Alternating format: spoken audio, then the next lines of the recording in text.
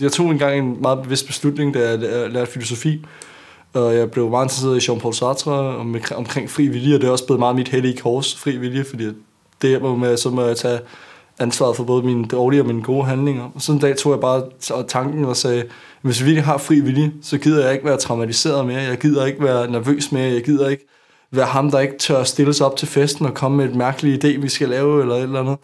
Og så ændrede jeg det bare på en dag, og så tog jeg også samtidig med det beslutninger, når jeg fortæller min mobbehistorie. Jeg vil ikke gøre den direkte positiv, men jeg vil godt fortælle den på en måde, som ligesom fokuserer mere på et halvfyldt glas end et halvtomt Jeg vil godt fortælle den, så folk ved, at jeg ligesom kommet ud på den anden side, og nu om dagen, der har jeg det bare givet mig nogle erfaringer, hvor jeg ved, at jeg kan læse folk meget hurtigt, og jeg, jeg får mange venskaber, der er meget mere, folk finder mig interessant, fordi jeg ved en masse, og jeg samler viden ind, og ja, det er også det er derfor, jeg ofte godt kan lide ordet filosof, fordi det betyder jo egentlig kærlighed til viden.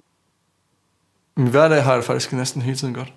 Fordi øh, både herhjemme og i England, jeg har så mange venner, og de alle synes om mig.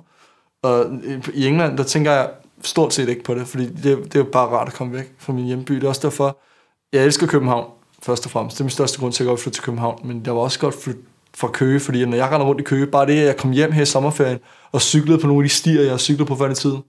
I gymnasiet tænker jeg ikke så meget på det, for jeg er for travlt med at prøve at få venner og få en god skolegang. Men nu hvor jeg har, i mit sabbatår for eksempel, når jeg cyklede på de stier der, hvor jeg har haft det dårligt, og der, hvor de har været der, og alle de der ting, og mine dårlige ting er sket, så får det bare bedre. Øh, jeg er kommet på arbejde i Tivoli nogle gange med dårligt humør, og der er ikke sket noget. Jeg har bare cyklet på de steder der. Jeg har bare fået alle de der flashbacks til, hvad fanden de har gjort ved mig. Ikke? Og så er jeg bare blevet forbedret. Så, men i England sker det jo ikke. Så der er jeg sådan set glad 24-7 for det meste.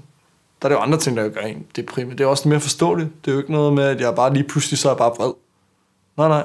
Fordi det, jeg har alle mine venner, der er alle mulige folk, der er blevet faktisk endnu mere populære, end jeg var i gymnasiet.